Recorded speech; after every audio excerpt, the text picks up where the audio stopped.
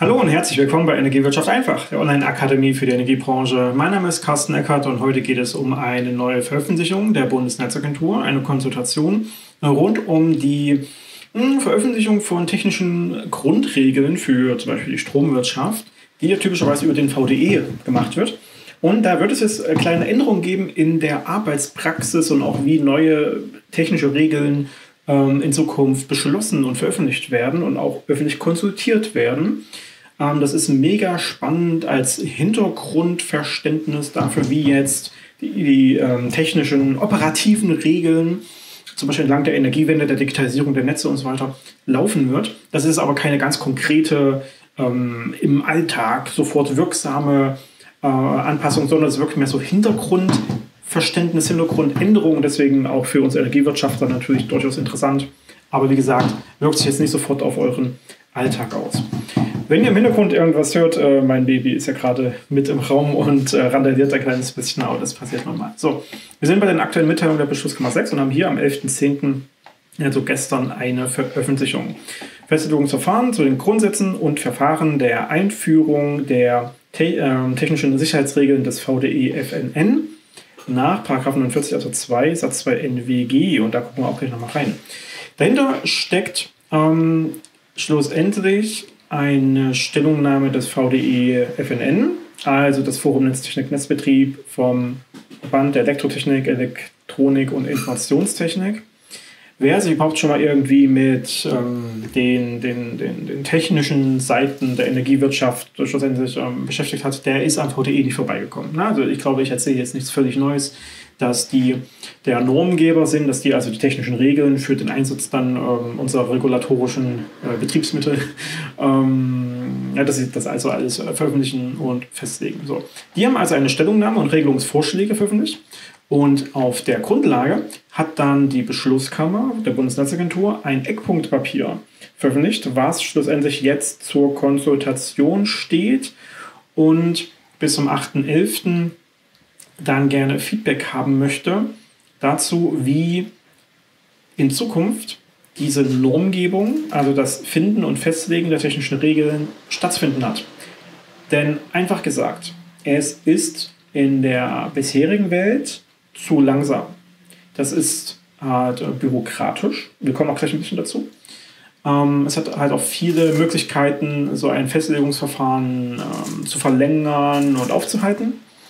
Und die Bundesnetzagentur sagt es eben, naja, in unserer heutigen Zeit, im voranschreitenden 21. Jahrhundert, müssen wir eine gewisse Geschwindigkeit aufnehmen, um eben zum Beispiel der Digitalisierung und der Energiewende und dann schlussendlich dem auf der anderen Seite ja, Weiterentwickeln des tatsächlichen Stromnetzes, ähm, um dem Ganzen eben ja, die Möglichkeit zu geben, sich anzupassen, ne? um eben auch mit den Entwicklungen, mit den Innovationen ähm, entsprechend voranzukommen und hier nicht äh, ja, sich mehrfach überrumpeln zu lassen, dadurch, dass meinetwegen die nächsten äh, technischen Möglichkeiten am Markt theoretisch verfügbar wären, aber sie vielleicht nicht zulässig sind. Ne? So in dem Sinne.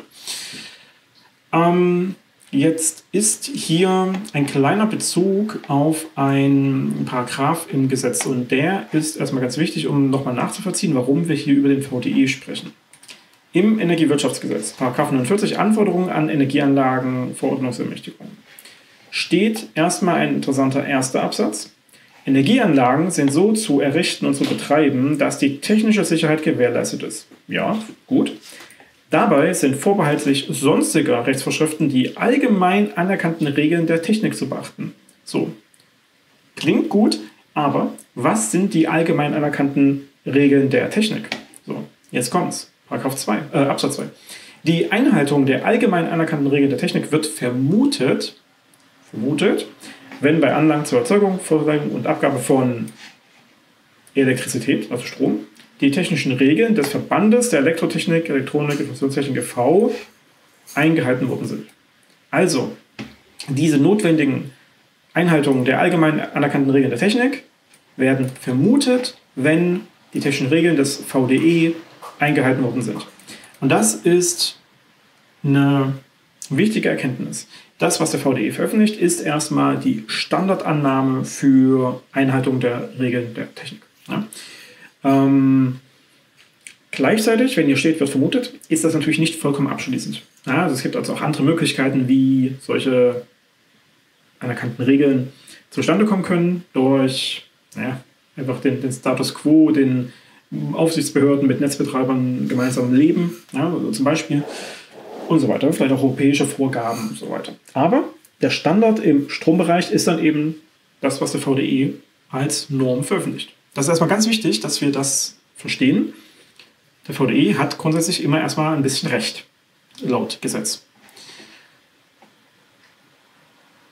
Nun ist es so, dass der VDE selbst, wahrscheinlich weil sie darauf angesprochen worden sind, gesagt hat, ähm, wir, wir müssen unsere Arbeitsweise anpassen. Die muss ein bisschen wahrscheinlich schneller und performanter werden. Wir kommen nicht gleich im Dokument von der Bundesnetzagentur dazu, dass es hier doch einige mh, mm, Möglichkeiten gibt, so ein Festlegungsverfahren für neue technische Regeln aufzuhalten.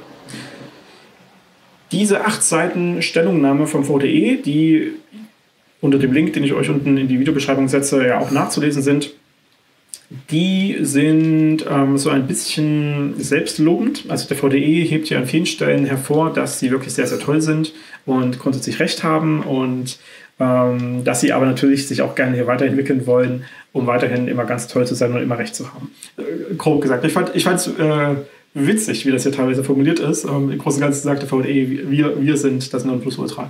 Ähm, kann man auch machen, weil äh, faktisch ist der VDE immer die Stelle, die eben äh, die Sachen veröffentlicht, die dann äh, zu nutzen sind von allen Netzbetreibern. Ne, das, das, passt schon. Oder auch von nicht den Netzbetreibern, von den Herstellern, von Messstellenbetreibern, von äh, Anlagenbetreibern und so weiter. Das VDE hat immer recht, erstmal grundsätzlich.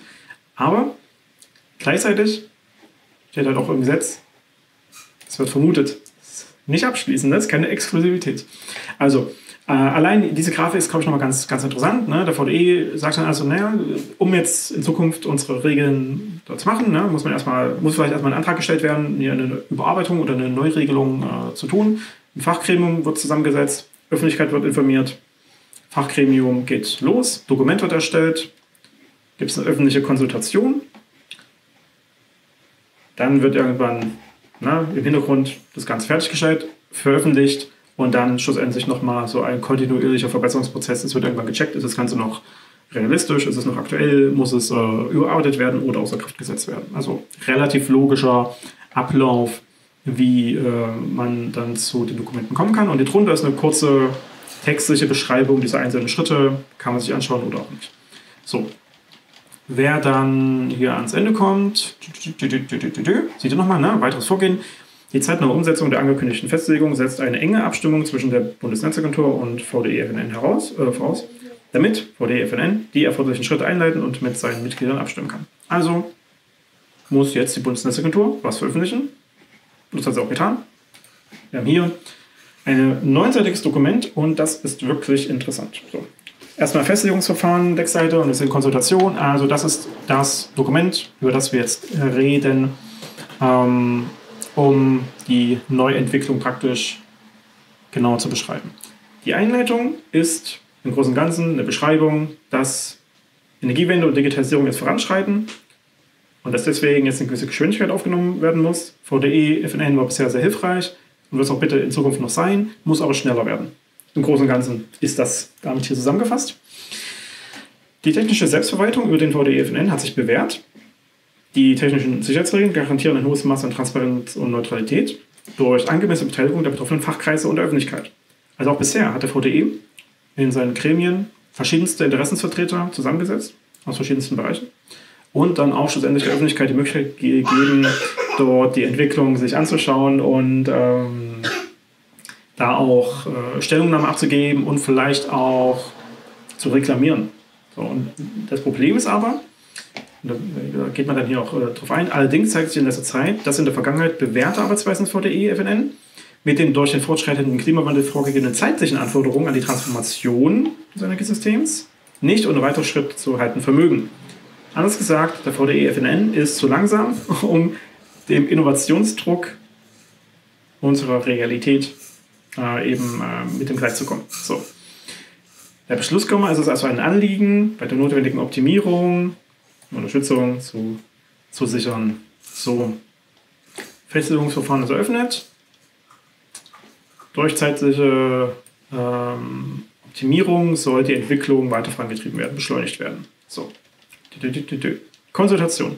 Hier gibt es dann schlussendlich zwei Punkte. Erwägungen, Beschlusskammer. Hier wird dann nochmal darauf hingewiesen, dass es so ein paar Stellen gibt, an denen die bisherigen ähm, Prozesse in VDE, FNN zwar grundsätzlich gut laufen, aber so ein paar Probleme haben, wie zum Beispiel, bis kein Widerspruch mehr aufrechterhalten wird. Wenn also innerhalb der, der Fachkreise ähm, einzelne Interessen sehr, sehr stark vertreten werden und die dann aufeinanderprallen und man keinen Konsens findet, dann kann es sein, oder konnte es sein, dass es praktisch ewig zu Diskussionen kommt. Das will man also nicht mehr. So. In Folge können selbst einzelne Personen innerhalb eines Fachkreises die Konsensfindung verzögern oder verhindern. Das war bisher so. Ähm, diese Art der Entscheidungsfindung wird den derzeitigen Herausforderungen nicht mehr gerecht. Einzelinteressen dürfen der zeitnahen Anpassung technischer Sicherheitsregeln zum Wohle der Allgemeinheit nicht im Wege stehen. Das wird ja noch mal ein bisschen weiter ausgeführt. Interessant ist halt, ne, diese Fachkreise umfassen Übertragungsnetzbetreiber, Verteilnetzbetreiber, Messstellenbetreiber, Hersteller, Erzeuger, Verbraucher, Dienstleister, Handwerk, Umweltverbände, Behörden, Wissenschaft und so weiter. Ähm, es ist weiterhin wichtig, dass die auch alle beteiligt sind. Gleichzeitig aber tragen die Betreiber der Netzinfrastruktur, also Übertragungsnetzbetreiber, Verteilnetzbetreiber, Bahnstromnetzbetreiber und Messstellenbetreiber, die Systemverantwortung.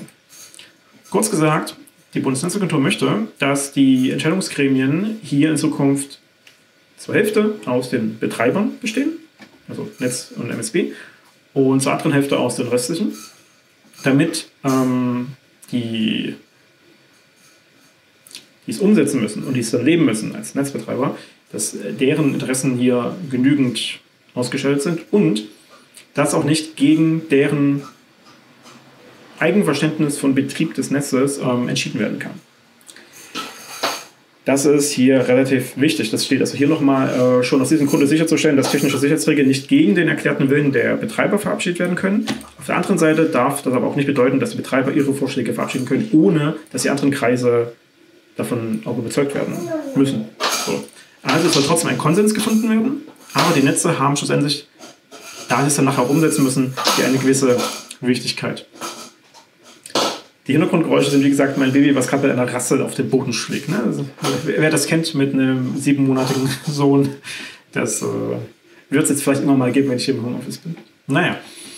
Ähm, auch ein Problem, bisheriges Einspruchsverfahren. Jedermann hat das Recht, Einsprüche einzureichen, die dann behandelt werden, persönlich beraten werden, beschlossen und schriftlich beantwortet werden. Bei Ablehnung als Einspruchs kann Berufung eingelegt werden.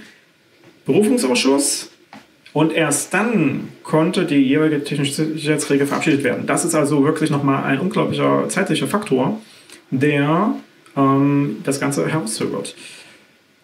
In Zukunft soll es trotzdem die Möglichkeit geben, zu kommentieren und sich Gehör zu verschaffen. Also wird es auf eine Konsultation hinauslaufen. So. Und das ist dann hier unter B, Eckpunkt Papier, weiter ausgestoffelt. Hier gibt es große Überschriften, Fachgremien, und Öffentlichkeit informieren und überprüfen. Die drei großen Schritte. Nur unter Fachgremien ist schlussendlich der Prozess als solcher schon ganz gut dargestellt. Fachgremien sind allein verantwortlich für technische Sicherheitsregeln ohne weitere Zustimmung oder Freigabe eines weiteren Gremiums. So. Zusammensetzung: zwölf Mitglieder, mindestens vier der von Bau- und Anwendungsregel betroffenen Fachkreise. Fachkreise sind jetzt wieder UNB, VNB, MSB und so weiter die Kreise, die wir vorhin gelesen haben. Ähm, dürfen nicht gegen den erklärten Willen der Betreiber, also der Netze und MSB, äh, verabschiedet werden, aber auch nicht gegen den erklärten Willen der anderen Fachkreise verabschiedet werden können. Also, wie gesagt, diese hälftige Aufteilung und dann so eine gewisse Konsensfindung, die hier weiter ausgestaltet ist. Konsultationsdokumente sollen veröffentlicht werden und äh, dann konsultiert werden. Dafür ähm, gibt es eine gewisse Zeit, äh, einen gewissen Zeitkonsens von sechs bis acht Wochen. Anmerkung der Beschlusskammer. Auch hier kann immer noch äh, eine kleine Anmerkung der Beschlusskammer. Ähm, hier gibt es immer noch die Möglichkeit, dass es zu einer Pattsituation kommt, aber man erwartet im Moment nicht, dass es passiert. Äh, sollte es dazu kommen, würde man diese gesamten Vorgaben nochmal weiter anpassen wollen. Einbildung der Öffentlichkeit ist dann also diese Konsultation mit einem gewissen äh, zeitlichen Invest und schlussendlich dann das Verabschieden der technischen Sicherheitsregeln, dass die dann ähm, auf geeigneten Wege veröffentlicht werden. Das heißt nicht, dass dann ein Blatt Papier in einer irgendwo in der Geschäftsstelle aushängt, sondern dass es über die üblichen Wege, Webseite des VDE, ähm, Fachpresse, Newsletter und so weiter veröffentlicht wird. So. Der gesamte Prozess, um dann eine Neuveröffentlichung einer technischen Regel dann auch äh, ja, so hinzukriegen, soll nicht länger als zwölf Monate dauern. Ähm, sollte die zusätzliche Beratung von drei Monaten dazukommen, ne, dann wären es 15 Monate, aber danach ist halt Schluss. Das ist interessant, weil, ähm, wie gesagt, man konnte es bisher ja deutlich herauszögern. Jetzt würden wir in der Lage sein, innerhalb eines Jahres ein komplettes Neudesign einer technischen Regel im VDE zu bekommen. Das wäre schon gut. Ähm, das wäre ungefähr angemessen, um ja, der Innovationskraft unserer Branche auch zu entsprechen.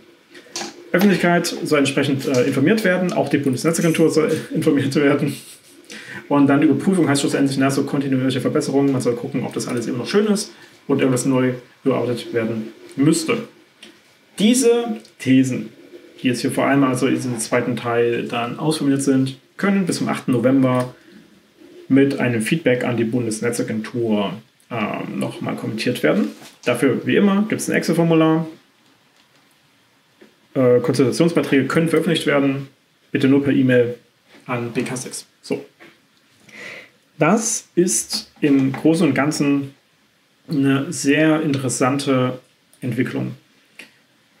Wir sind jetzt nämlich tatsächlich in einer Zeit angekommen, in der wir wirklich Fahrt aufnehmen mit unserer Neuregulierung der Stromwirtschaft oder auch der gesamten Energiewirtschaft, spartenübergreifend, äh, entsprechend unserer äußeren Bedingungen wie Klimawandel, wie Digitalisierung, ne, voranschreitende Energiewende, steuerbare Erzeuger und Verbraucher, ähm, Speicher kommt dazu, Kraftwerkspark ändert sich und so weiter. Ne? Wir müssen auch wirklich jetzt mal was machen.